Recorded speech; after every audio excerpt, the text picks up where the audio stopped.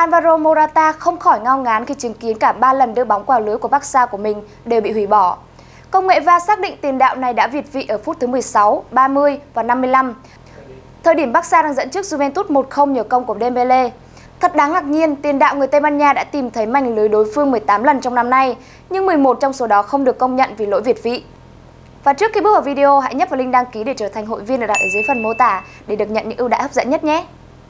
Các bạn fan của Mr. Zero ơi, hãy nhanh tay đăng ký để trở thành hội viên của chúng mình ở đường link phía bên dưới clip để được hưởng những ưu đãi đặc quyền chỉ có fan hâm mộ mới được sử dụng nhé. Đăng ký hội viên Mr. Zero để nhận ngay các ưu đãi cực cool, livestream với MC xinh đẹp, minigame tặng áo đấu và còn nhiều ưu đãi hấp dẫn khác. Đăng ký ngay nhận quà liền tay. Bóng đá ngoài những giây phút hồi hộp kịch tính mà khiến nhiều khán giả phải dùng đến thuốc trợ tim, thì vẫn còn những lúc cảm xúc người xem thật sự thoải mái và thăng hoa vì sự hài hước và những màn tấu hài của các cầu thủ trên sân. Ngày hôm nay, chúng ta hãy cùng xem lại những màn biểu diễn thượng hạng của các siêu sao bóng đá khiến các cổ động viên bị một cú lừa. Có lẽ nó chân thực đến nỗi mà chính các cầu thủ đó cũng là nạn nhân của cú lừa chính mình.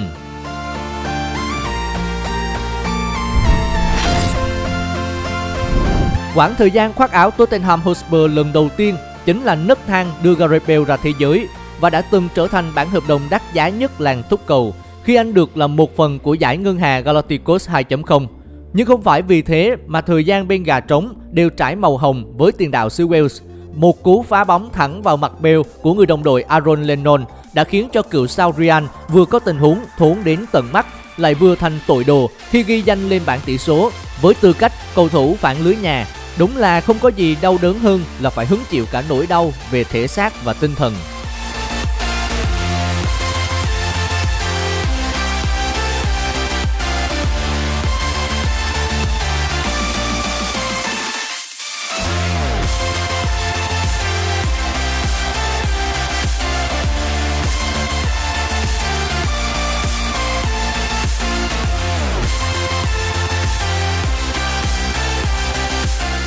Xem pha bóng này, có lẽ các cổ động viên Chelsea vẫn không thể hiểu nổi vì sao ông chủ Abramovich dù biết là giàu thuộc hạng có sao có số lại chịu bỏ ra số tiền lên tới 80 triệu euro để chiêu mộ Kepa. Một pha soạt bóng trượt rồi luống cuốn chạy về cứu thua nhưng lại khiến cho anh sai càng thêm sai để rồi bất lực nhìn các cầu thủ sau thêm tinh xuyên thủng mảnh lưới.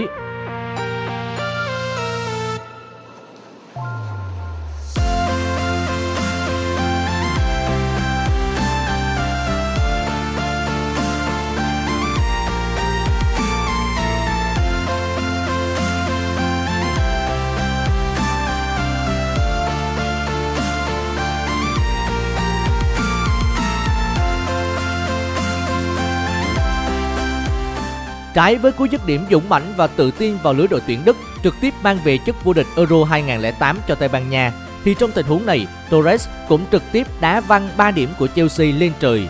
Đó là khi Tây Chiến đã vượt qua cả người đồng hương De Gea để đối diện với khung thành bỏ trống. Nhưng pha qua người thủ môn của MU hay bao nhiêu thì cú dứt điểm cuối cùng lại chua xót với cổ động viên Chelsea bấy nhiêu. Tuy nhiên là vì idol trong mắt mọi người nên cư dân mạng cũng chỉ treo treo Torres một tí rồi tất cả đều được cho qua vì đơn giản là anh đẹp trai nên được tha thứ.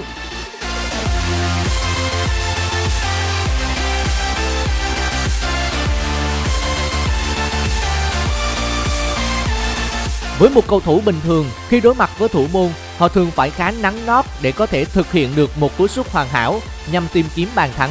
Nhưng với Balotelli thì ở đây tôi không làm thế không biết là do tính chất chỉ là một trận giao hữu hay máu ngựa chứng của Super Mario lại nổi lên, mà anh chàng lại chọn cách xoay comba đánh gót cho một pha bóng đối mặt hết sức đơn giản này. Kết quả đồ đẹp mắt được duyệt, nhưng hiệu quả bằng không khi trái bóng cứ thế đi ra ngoài trước sự ngao ngán của người đồng đội Edin Dzeko và ông thầy Roberto Mancini.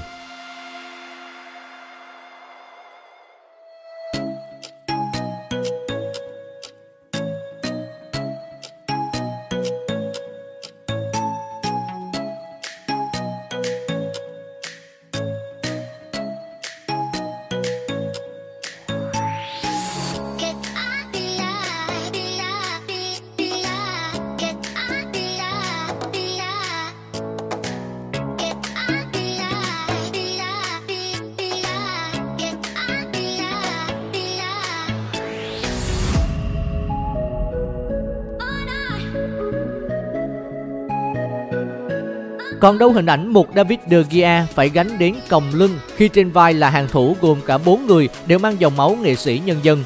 Có lẽ là gần mực thì đen, gần đèn thì rạng hay sao? Mà đến cả một tay to gánh tim gần như là cuối cùng của quỷ đỏ cũng có pha tấu hài khi sút bóng thẳng vào chân của tiền đạo bên phía Everton giúp nửa xanh thành Merseyside dễ dàng có bàn thắng trước sự bất lực của chính De Gea và các cầu thủ Manchester United.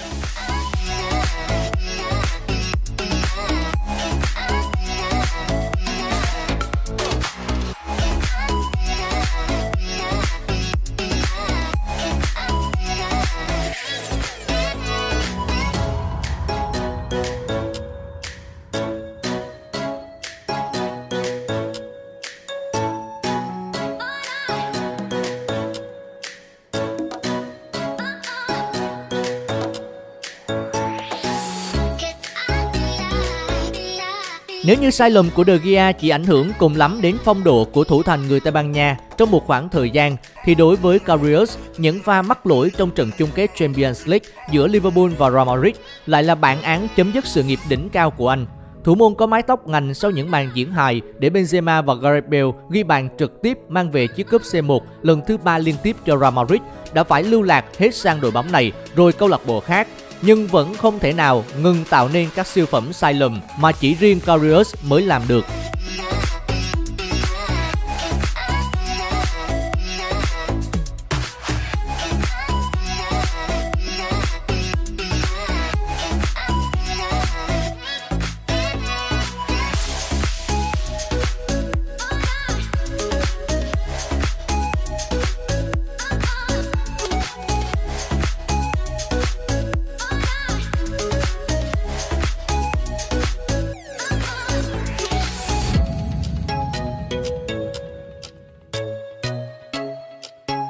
Bạn có muốn biết trung vệ đắt giá nhất thế giới hiện nay khi có bóng sẽ xử lý như nào không?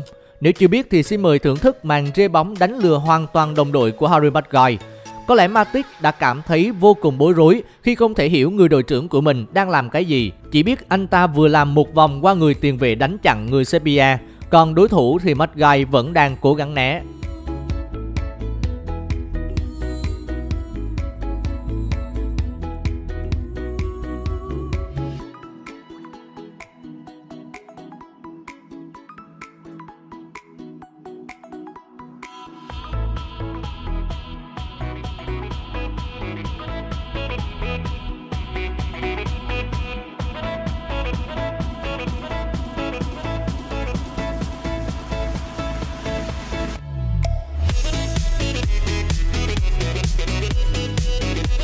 Rất may là mắt gai không bao giờ cô đơn. Trước khi chiêm ngưỡng pha bóng này, xin được giới thiệu với các bạn một người đang nắm giữ gần như mọi danh hiệu cao quý ở cấp câu lạc bộ lẫn đội tuyển quốc gia khi mới vừa chỉ bước sang tuổi 27.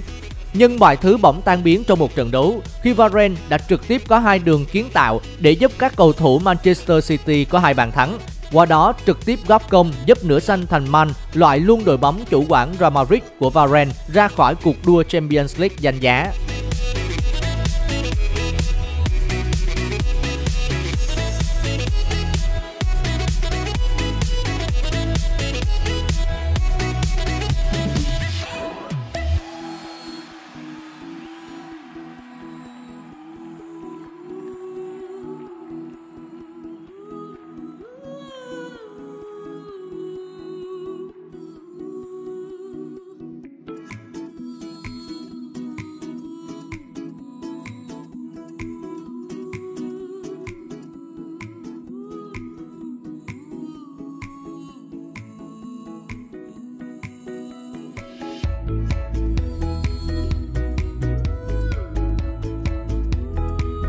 Đang trong chuỗi các pha tấu hài của các trung vệ mà lại thiếu đi siêu tiền đạo David Luiz của Arsenal quả là một tội ác. Trung vệ được cho là nội gián mà Chelsea gài vào đội hình pháo thủ cũng góp vui với một pha truyền bóng bằng đùi vô cùng tinh tế, giúp đối thủ có ngay bàn thắng quý giá. Và lần này, cái tên được hưởng lợi vẫn là Raheem Sterling và Manchester City.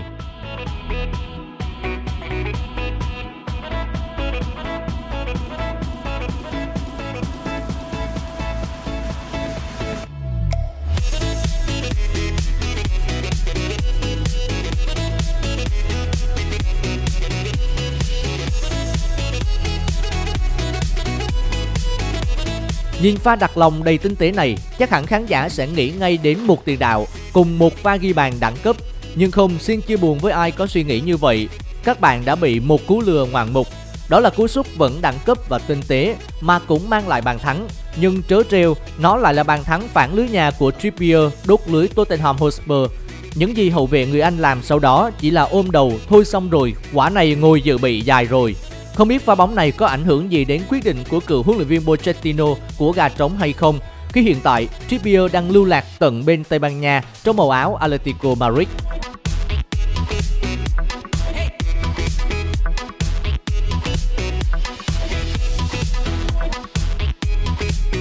Vừa rồi là những pha bóng hài hước mà lừa cả cổ động viên, lừa cả đồng đội và đối thủ, thậm chí lừa luôn cả chính mình của các cầu thủ. Cảm ơn các bạn đã theo dõi. Xin chào và hẹn gặp lại.